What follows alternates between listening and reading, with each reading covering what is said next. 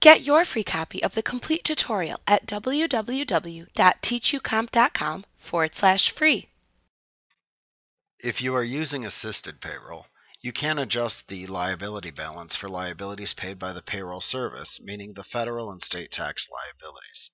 However, you can adjust the liability balance for local or other taxes that are not supported by the payroll service.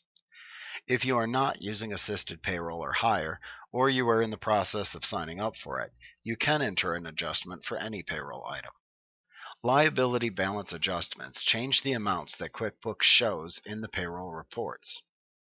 To adjust the liability balance, select Employees from the menu bar, roll down to Payroll Taxes and Liabilities, and then select the Adjust Payroll Liabilities command to open the liability adjustment window.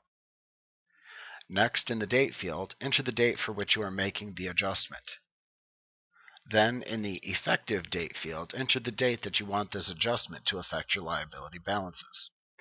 QuickBooks uses this date to calculate amounts on your Forms 940 and 941 and on the Payroll Liability Balances report. Then choose whether this liability adjustment is for the company or for a specific employee.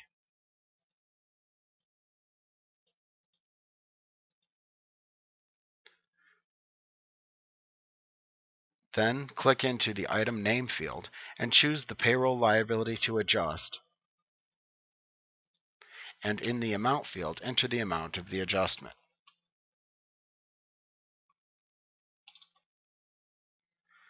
You can enter either a positive number or a negative number as is appropriate.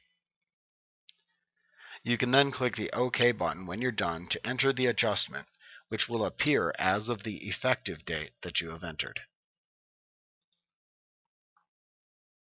Like what you see? Pick up your free copy of the complete tutorial at www.teachucomp.com forward slash free.